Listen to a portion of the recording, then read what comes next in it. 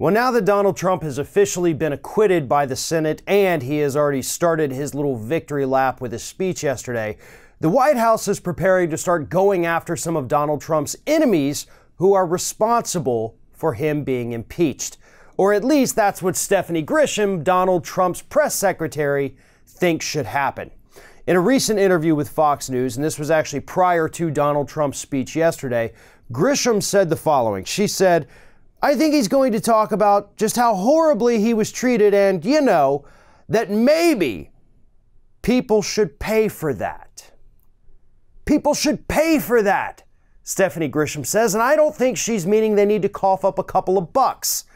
I think Stephanie Grisham is letting us know, without a doubt, that this White House is about to go scorched earth on anyone they perceive as an enemy. Obviously, we've uh, discussed earlier in this week, as Gabriel Sherman pointed out over at Vanity Fair, Donald Trump is allegedly, according to Republican lawmakers, compiling an enemies list that includes people like Adam Schiff and Jerry Nadler. And at this point, I'm willing to bet that enemies list also includes Mitt Romney. Donald Trump, really, this past week, since the acquittal, has uh, really gone after Mitt Romney more so than anybody else. Uh, shortly after the vote, he actually tweeted out a video of Mitt Romney being defeated on election night. And then towards the end of the video, it switched to Donald Trump's results coming in on election night 2016 and winning.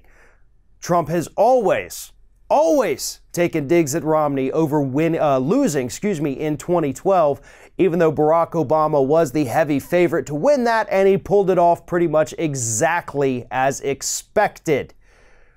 But nonetheless, Grisham's trying to give us a warning here.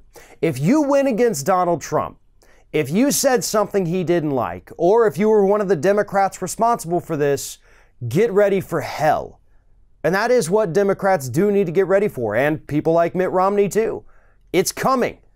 You're not going to stop this man. He feels a renewed sense of invincibility at the moment, and he is going to use that to his advantage. He is going to come after each and every one of you with everything he has. And when he has nothing, he's just going to make things up. We've seen him do it in the past.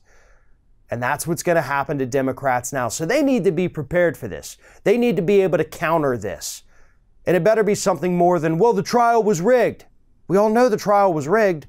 So you better stock up with some better ammo than that because this man is about to go pure crazy in a way we have never seen throughout his administration. Thanks for watching, everyone. And well, here comes the awkward part at the end of the video where I ask you to like, comment, and share, and subscribe for more content from Ring of Fire. Also, you should consider becoming a member for some exclusive content and perks, including early access videos and exclusive videos. Check out the link in the description.